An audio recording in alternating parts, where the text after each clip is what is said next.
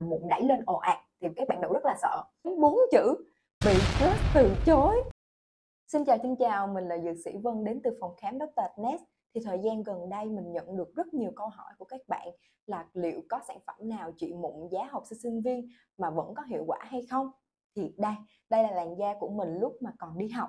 Thì nếu mà mình biết được những sản phẩm này sớm hơn thì mình đâu có nếm bốn chữ bị chết từ chối Đầu tiên thì mình muốn giới thiệu với các bạn ba sản phẩm với hoạt chất chính là Adapalene 0,1%. Thì đây là một retinoid dùng để điều trị mụn trứng cá. Nó đã được chứng minh rằng có khả năng điều hòa quá trình biệt hóa tế bào, sừng hóa và các quá trình gây viêm, làm giảm sự hình thành nhân mụn. Về Differin thì nó sẽ có giá thành nhỉnh hơn so với các loại còn lại. Nhưng mà với kết cấu dạng gel á, sử dụng khá là thoáng da và cái chất cực kỳ nhẹ cho nên là mình recommend cho những bạn mà có làn da nhờn, nhiều dầu thì nó sẽ được chỉ định trong điều trị mụn trứng cá bao gồm cả mụn đầu đen, mụn đầu trắng, mụn sần và mụn mũ. Thì cái thời gian đầu mình sử dụng sản phẩm này á, thì nó đẩy mụn rất là nhanh và nhiều. Nhưng mà sau tầm ờ, một tháng rưỡi thì mình sẽ thấy được cái tình trạng da nó cải thiện rõ rệt và thậm chí là khi mà mình ờ, rửa mặt á, mình thấy cái nhân mụn nó sẽ tự rớt ra luôn. Tiếp theo là một sản phẩm có giá thành thấp hơn tuy nhiên là cái hiệu quả thì nó không hề kém cạnh Differin đó là Lensit MS thì cái sản phẩm này nó cũng sẽ có cái kết cấu dạng gel. Nhưng mà khi mà mình thoa lên da mình thấy nó thấm cực kỳ nhanh và cái chất của nó không có đặc bằng Differin Đấy. và em này á, thì mình uh, sử dụng nó sẽ có hiệu quả khi mà sử dụng lên các cái vùng da mà có mụn đầu đen và mụn ẩn. Và ở cái thời gian đầu mình sử dụng á thì nó cũng đẩy mụn khá là nhanh tuy nhiên là nó đẩy theo cái kiểu là uh, nó sẽ gom còi lại chứ không hình thành thêm mụn viêm.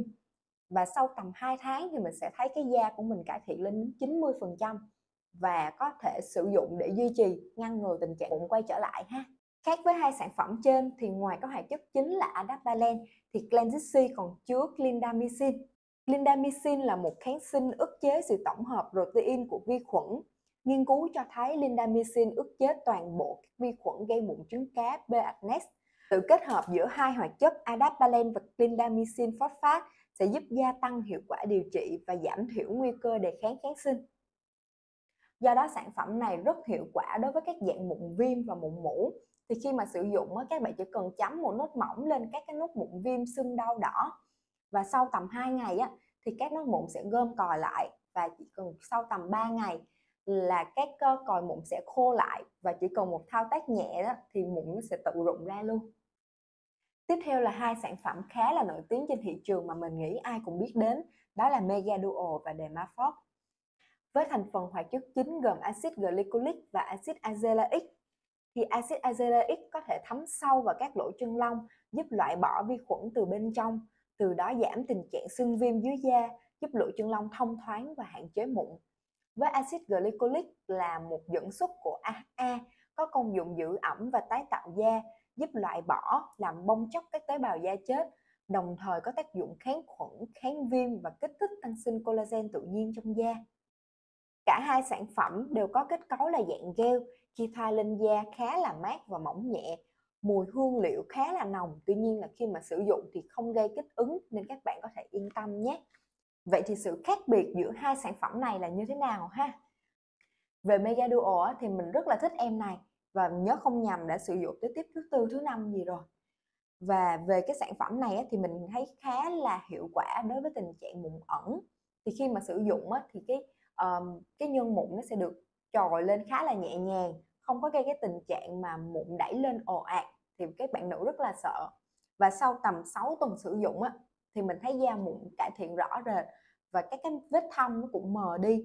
Và riêng về em này á, thì mình có thể duy trì sử dụng để dưỡng da và ngăn cái tình trạng mà mụn ẩn quay trở lại.